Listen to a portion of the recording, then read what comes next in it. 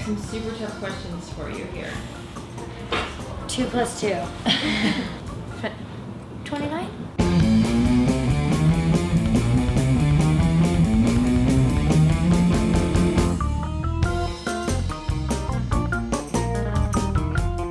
How many times would I guess the word sex has been used? On set, we've probably said it maybe 1,300 times, I would guess.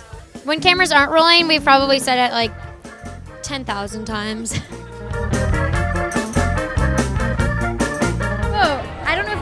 if here, but it's broken underneath, and so it's kind of like this fun little trampoline. Are you booby trapping people? No, we're totally not.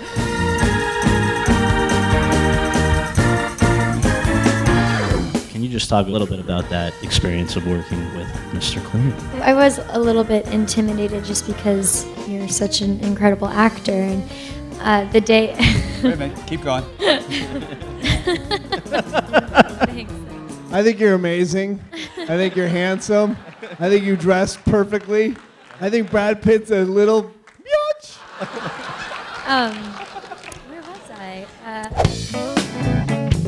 One time, Shay got uh, stung by a bee when she had the cannula in, and she went and she wanted to watch the playback of the take. They zoomed in on it, and she was looking at it, and she was like, "Oh no, that bee is definitely gonna die."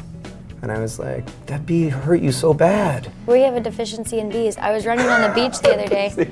It's true. we were I running know, on I the know, beach, I and I got stung. I stepped on a bee, and I felt so bad for that freaking bee because it was about to die Yeah, because the stinger got in my foot.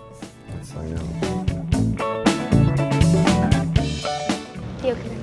Come here. Turn around. Just turn around. Just turn. I feel like I'm your not head. here. Extremely painful. How would you survive a zombie apocalypse? I would plant tobacco because I think it'd be a good thing to trade with. Can you imagine? The Zombies like, yeah, like, whoa, wait, hold on. I have some organic tobacco there. Holy shit, this is good stuff. I think it's smart, guys. Don't laugh at my tobacco shit. Sorry. Yay! Thank you. Thank you, Hollywood Reporter. Aloha. Aloha, Hollywood Reporter. Guys, thanks for having fun. Yeah.